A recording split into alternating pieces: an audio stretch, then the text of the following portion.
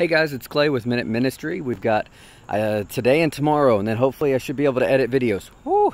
So we might go back to a little bit more like it was before. Um, but I've kind of enjoyed the one takes. So let me know what you think in the comments below.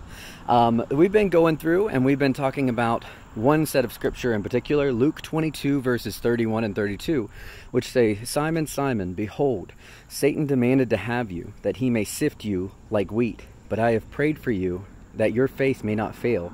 And when you have turned again, strengthen your brothers. I wanted to talk about the elephant in the room in this one. Satan has demanded to have you. And I think sometimes we, as Christians, we, we give Satan way too much power. He only has power that we give him. He's not a roaring lion. You know, he, he walks around like he is one, but he's not one. And so in this case, though, we see Satan demanded to have you in order to sift you like wheat.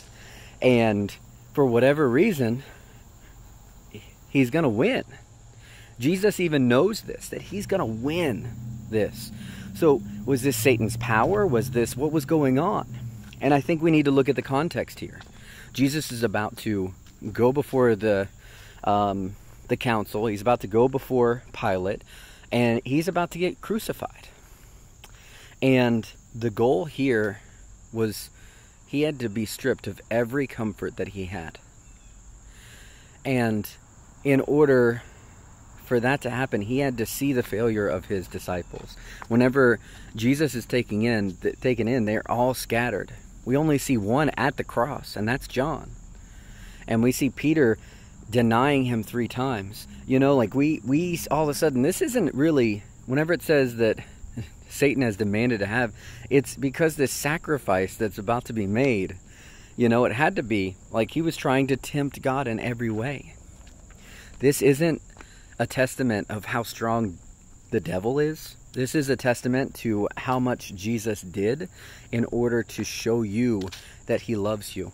He didn't have any comfort there. There was no comfort other than the faith that it took to know that God the Father was going to take care of him and that through this sacrifice that he was going to gain all of his brothers and sisters and that he was going to have the key to Hades, the key to hell.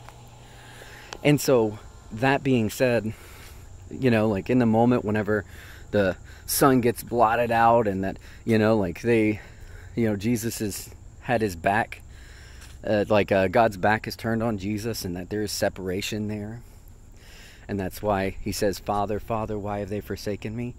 He, he couldn't have any hope around him.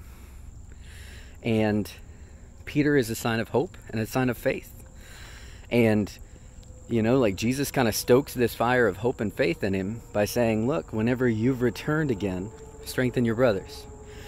And I just, I'm just kind of amazed that, you know, sometimes we give Satan so much more power than he deserves. This was all just to show that Jesus, he was perfect.